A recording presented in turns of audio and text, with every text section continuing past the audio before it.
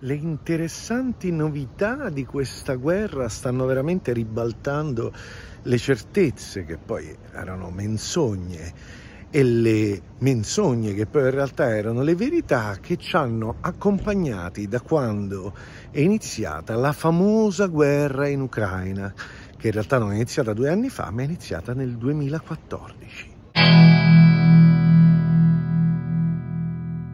Il nano da giardino, come lo chiamo io, ovvero sia Zelensky, una disgrazia non solo per il mondo attoriale della comicità, ma una disgrazia anche e non solo per il popolo ucraino, che attualmente ha subito e sta subendo le peggiori nefandezze proprio per, la, per l'esistenza e l'incapacità politica di questo nano da giardino, è stato velocemente dimenticato, ovvero sia Zelensky oramai non se lo incula più nessuno, neanche gli Stati Uniti d'America.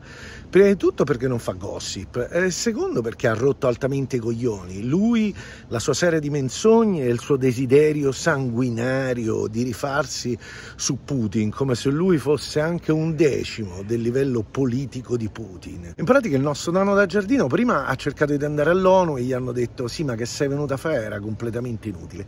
Dopodiché ha chiesto a Israele lui che dovrebbe essere impegnato in prima fila a combattere, se poteva andare perché voleva sostenere lui, che non fa altro che chiedere soldi al mondo, Israele. Israele gli ha detto anche no, puoi restare dove sei. Ma chi si rivela l'asso tutto della nostra attuale evoluzione bellica, cioè dello scontro tra Hamas e Israele, Vladimir Putin.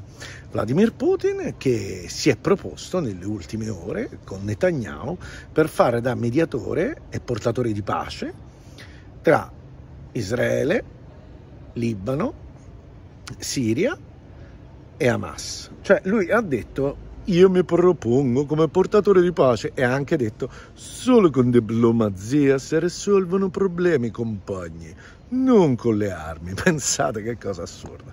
E l'ha fatto in modo intelligentissimo, architettando tutta una serie di strategie, parlando anticipatamente con i suoi alleati, perché lui va là per fare bingo con la comunità internazionale. Capite qual è il discorso?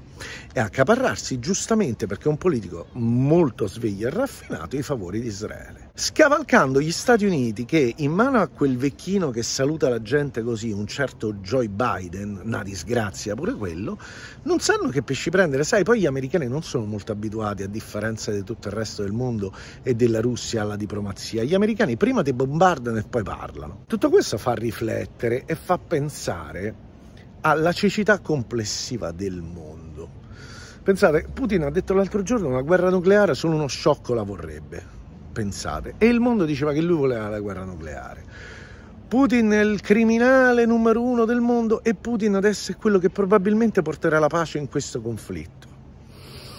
Fa riflettere, il nano da giardino se lo siamo già dimenticati, ma la cosa più interessante è questa, che Putin è l'unico al mondo che ha detto non vi scordate mai che nella Costituzione di Hamas non c'è l'indipendenza della Palestina, che non risolverebbe niente, che poi indipendenza, l'autodeterminazione e il riconoscimento della Palestina.